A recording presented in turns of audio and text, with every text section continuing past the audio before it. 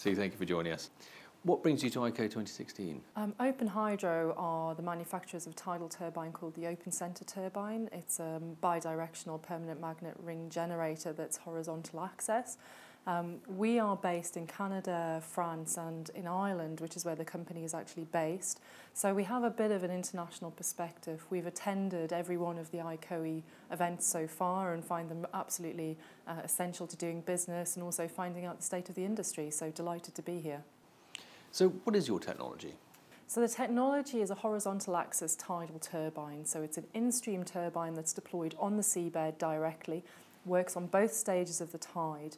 At the moment, we're looking at engineering efficiencies. So we have a cantilevered blade, which has allowed us really to, to improve the manufacturing efficiency of the machine.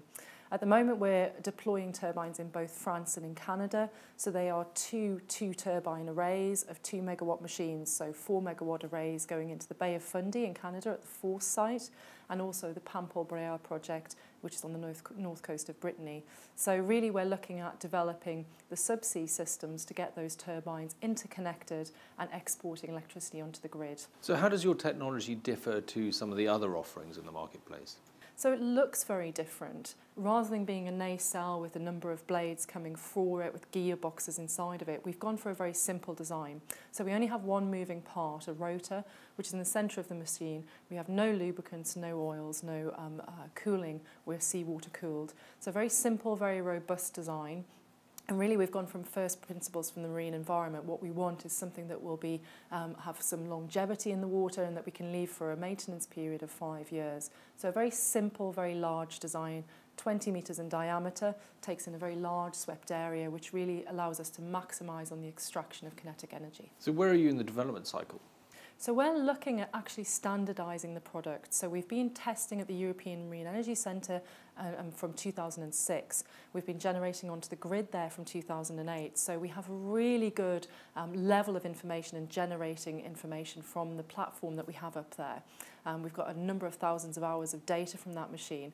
That allowed us to then scale up the machine. So we first went to a one megawatt 10 meter machine, which we deployed in the Bay of Fundy. We took learning from that and we're now at a 16 meter two megawatt machine. Um, so really looking at developing that standard product, getting to something that we can mass produce and really looking to moving towards industrialization. What are your optimum locations for situating these machines? So we're looking at a number of locations. Effectively, we want offshore sites with good tidal resource, and by that I mean numbers of meters per second to allow us to get that kinetic energy out. So in terms of yield and return, we're looking at fairly high energy sites at the moment. We're looking at a number of sites globally. Obviously, you want access to grid, accessibility in terms of the consents and permits. Our main focus, main markets at the moment are France, the UK and Canada.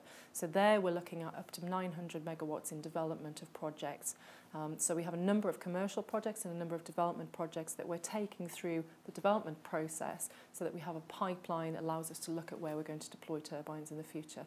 So effectively those three markets are, are where we're most focused at the moment. And are you funded on those 900? We're looking at how we're going to do that in terms of the building project out. We very much see that we've got to have longevity in pipeline, so we need to be developing these sites now due to the lead times it takes to actually get kit in the water. So you need to be looking at your site feasibility studies, grid studies, onshore consents and offshore consents. And the timescales for those are quite significant. So we established ourselves as, as, almost a development company as well as a tidal technology manufacturer, and we're working on all of those projects to ensure that, that the industry has a future. So next steps?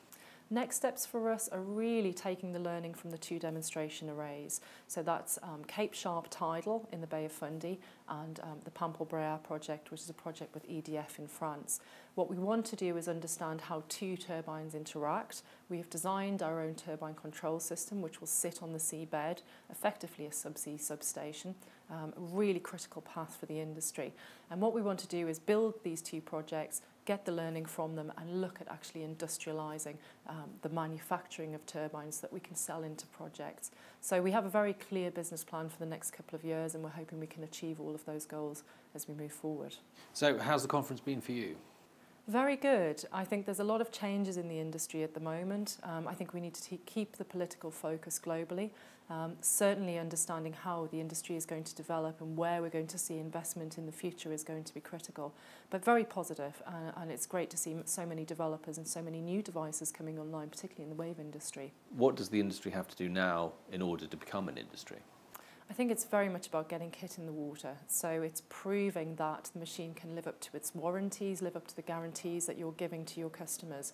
So for us, it's very much been we need to have technology in the water that we're getting data from so that we can actually take that data into due diligence processes and be able to sell the technology.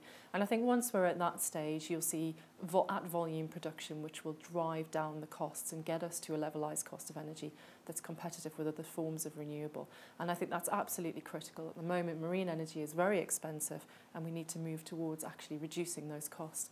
Which can only be done at volume when you have a machine that you fully understand, you know how it works, and you can offer the guarantees and warranties that people who are buying your technology will need. So there needs to be a policy and a financial framework in order to support it. Absolutely. I think the uncertainty around CFD allocation and certainly where the market revenue streams are going to come from has not helped the industry. Um, but we're all working together to make sure that that becomes clearer in the future so that that investment's allowed to come on board. So exciting times.